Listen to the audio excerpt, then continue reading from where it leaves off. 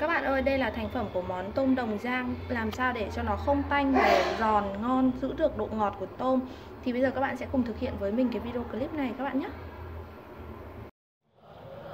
À, Chào các bạn, hôm nay thì mình sẽ quay một à, video clip về món tôm đồng rang Làm sao để cho nó không bị tanh và nó lại giữ được cái vị ngọt của tôm và ăn nó rất là thơm luôn. À, nguyên liệu các bạn à, chuẩn bị cho mình đó là tôm. Tôm chỗ này thì mình chuẩn bị 300g hoặc là các bạn có thể uh, chuẩn bị ít hơn hoặc là nhiều hơn. Thì tùy nha. À, xả các bạn lựa chọn cho mình hai củ này và à, lá chanh. Lá chanh thì tầm sáu bảy lá gì đó. Đó. Và tôm đồng sau khi mà mua về thì các bạn sẽ rửa thật sạch nhá. Sau đó thì các bạn sẽ sóc muối sắc muối cho mình như thế này để cho nó uh, không bị ươn và nó giữ được cái độ tươi của tôm. À, sau khi mà các bạn đã sóc muối cho mình như thế này rồi thì bây giờ mình sẽ bắt đầu đem cái tôm này đi ừ, để mình rửa sạch lại một lần nữa các bạn nhé đó cái phần tôm này sau khi mà các bạn mua về là các bạn đã phải rửa thật là sạch cho mình rồi nhá. Sau đó thì các bạn sẽ cho cái muối biển vào khoảng 1 đến 2 thìa muối biển để chúng ta sóc nó để cho nó giữ được cái độ tươi của tôm ấy. Và độ ngọt của tôm. Bởi vì là uh, các bạn đã sóc muối như thế này rồi cho nên là cái phần tôm nó cũng đã có cái vị mặn rồi. Cho nên là khi mà các bạn chiên ấy thì chiên xong các bạn chỉ nên cho mình một chút uh, gia vị thôi Đó, các bạn rửa thật là sạch để cho nó hết cái phần muối nhá.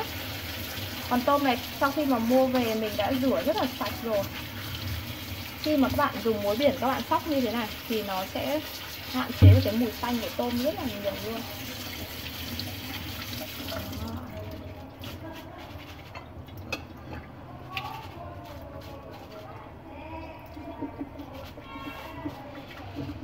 Bây giờ thì mình sẽ đem tôm này đi để mình rang các bạn nhé. Các bạn sẽ cho tôm này vào để các bạn nấu.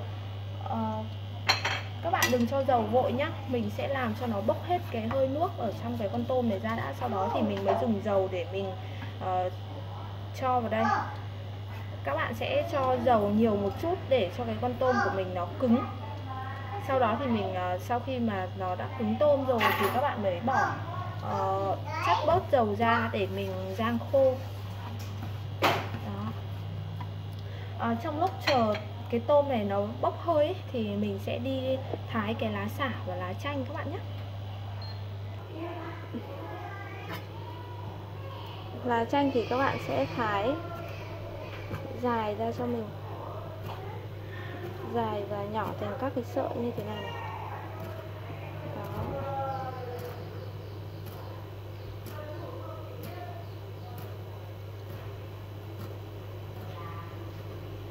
Phần lá chanh này thì sau khi mà các bạn rang tôm xong rồi thì các bạn mới cho vào nhé còn cái phần xả thì sau khi mà các bạn rang ờ, khô khô cái phần tôm rồi thì chúng ta bắt đầu cho xả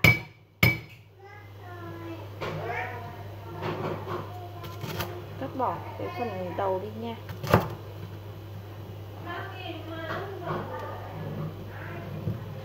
Các bạn sẽ thái vát cho mình ở cái phần thân xả trước, sau đó thì chúng ta sẽ thái sợi.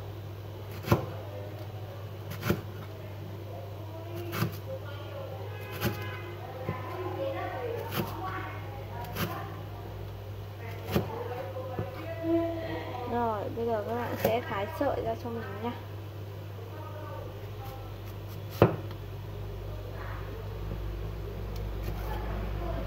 Đó, các bạn thái sợi ra cho mình như thế này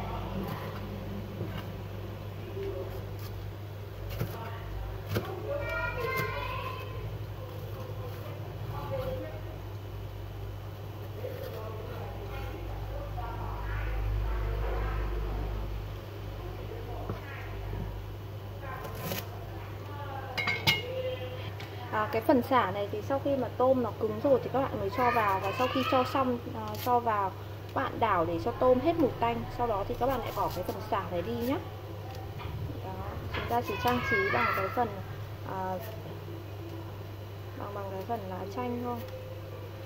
Cho nên là các bạn không cần lo nhiều nhé chúng ta cho nhiều xả thì nó sẽ khử được cái mùi tanh của tôm rất là lớn. À, sau khi các bạn thấy cái phần nó, tôm nó đã bốc hết được cái phần ờ, nước ở trong trong này rồi thì bắt đầu các bạn sẽ cho cho mình dầu ăn vào nha.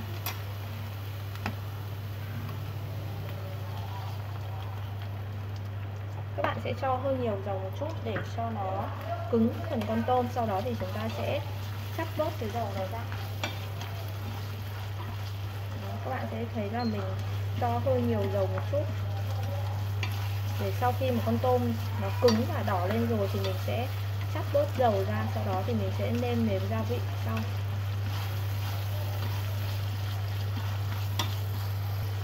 Các bạn sẽ thấy là cái phần tôm đồng khi mà mình mua về ấy, thì nó sẽ rất là đỏ như thế này. Khi mà chưa chưa cả cho đường nó đã đỏ đỏ như thế này rồi ấy. mình sẽ cho các bạn nhìn gần hơn một chút bạn sẽ thấy là tôm đồng nó rất là đỏ và trong tôm đồng thì nó rất chứa rất là nhiều canxi ấy. cho nên là thỉnh thoảng mình cũng nên ăn phần tôm đồng nhé. Và tôm đồng ăn thì rất là ngon, đúng không ạ? Ngọt à, tôm khi mà các bạn nấu, các bạn muốn nó không tanh thì các bạn phải sử dụng nhiều dầu một chút để cho nó làm cứng các phần con tôm. Và sau khi mà phần tôm nó cứng rồi thì các bạn sẽ cho cái xả vào để khử nốt cái mùi tanh trong tôm ấy thì khi mà ăn thì nó sẽ không còn cái vị tanh nữa. Ăn nó sẽ ngon hơn rất là nhiều. À, sau khi các bạn thấy phần tôm của mình nó đã khô như thế này rồi ấy, thì các bạn sẽ cho cái phần xả vào nhé các bạn sẽ cho cái phần xả vào để mình đảo chung với tôm để cho nó, nó hết cái mùi tanh đi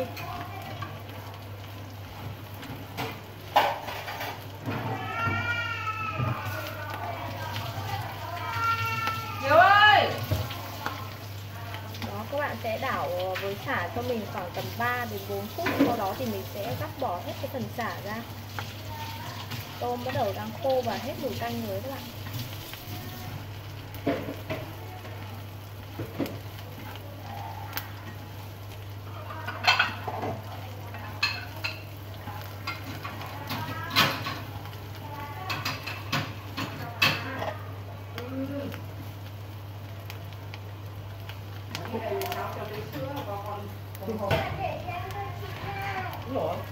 Rồi đó, các bạn sẽ thấy là cái phần tôm đồng sau khi mà các bạn uh, rang khô cứng bằng uh, dầu ấy thì nó sẽ có phần màu đỏ rất là đẹp luôn.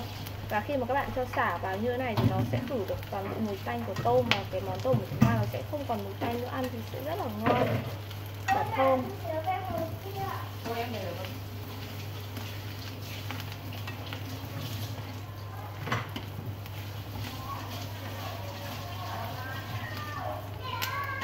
Ở đây Mẹ ra rồi đó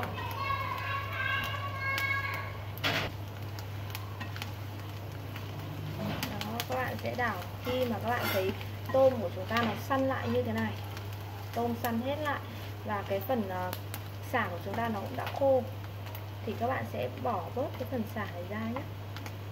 Mình sẽ đắp bỏ cái phần xả này đi.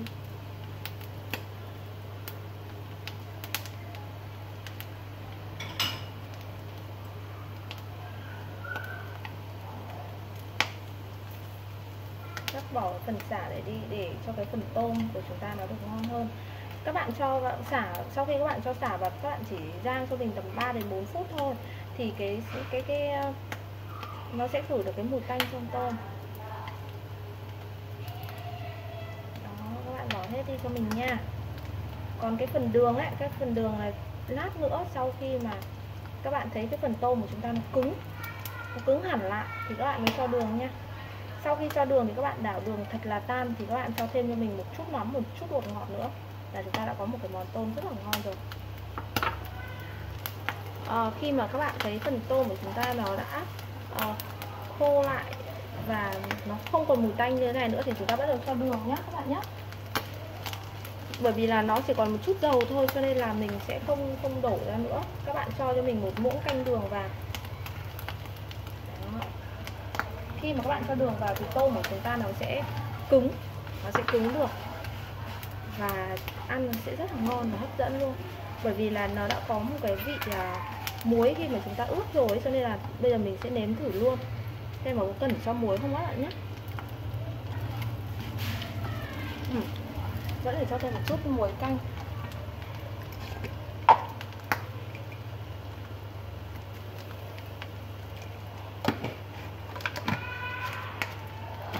mình sẽ nêm cùng một chút bột ngọt luôn các bạn nha.